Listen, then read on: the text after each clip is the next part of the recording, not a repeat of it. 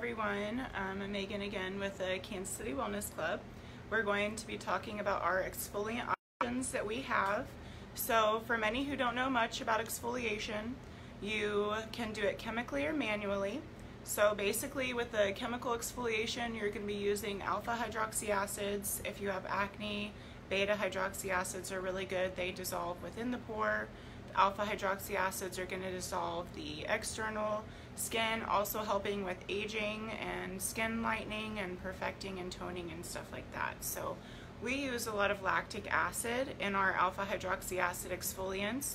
We have what you would do two times a week as a five minute mask. We have several different options.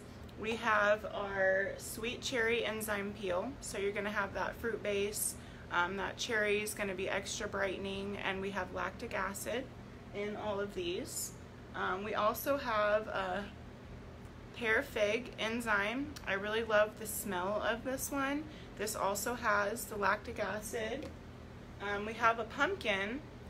For those of you who like pumpkin, it's really nice. Um, what pumpkin does is it just kind of is an extra enzyme base, so it eats away at that dead skin and stuff clogging the pore while that lactic acid is going to brighten the skin. So all of these will get you a really good exfoliation during your week, anti-aging. Um, it can be used as a mask as well.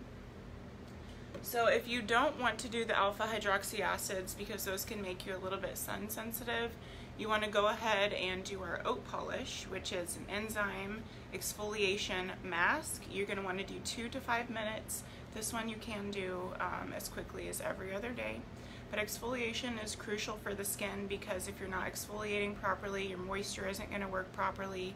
Anything you're trying to add to the skin isn't going to work. Your skin's going to be dull, um, your pores are going to be clogged, and just overall aging and uh, high amounts of inflammation. So